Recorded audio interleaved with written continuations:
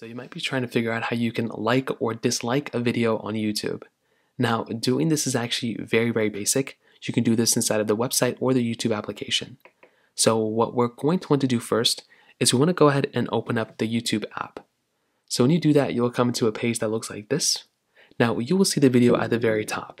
Now this is the video that you normally would use. This is the you know normal YouTube video that you have. But you will see right here that there's right under the channel name, there should be a like and a dislike button, aka the thumbs up button and the thumbs down button. Now I think you do have to have a YouTube account in order to thumbs it up or thumbs it down, so just keep that in mind. So what we're going to want to do is if we want to dislike a video, let's say we don't like a video anymore and we want to dislike it, what you're going to want to do is you want to hit that thumbs down button right there. So hit that thumbs down button and that's going to dislike this video. So now you also get a little thing at the bottom that says feedback, whatever.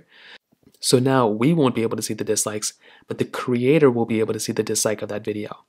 Now, if you actually want to thumbs up that video, let's say you actually liked the video, instead of that thumbs down button, you want to go ahead and hit that thumbs up button. So hit that thumbs up button right there, and then that will go ahead and give the creator acknowledgement that the video was liked and that you liked the video.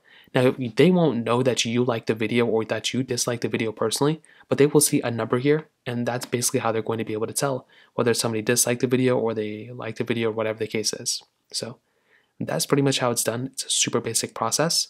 If you have any other thoughts or questions, let me know in the comment section below. Hit the like button, that would mean so much, but definitely hit that subscribe button. More importantly than everything else, I love every single one of you guys. Hopefully I'll catch you guys in the next video.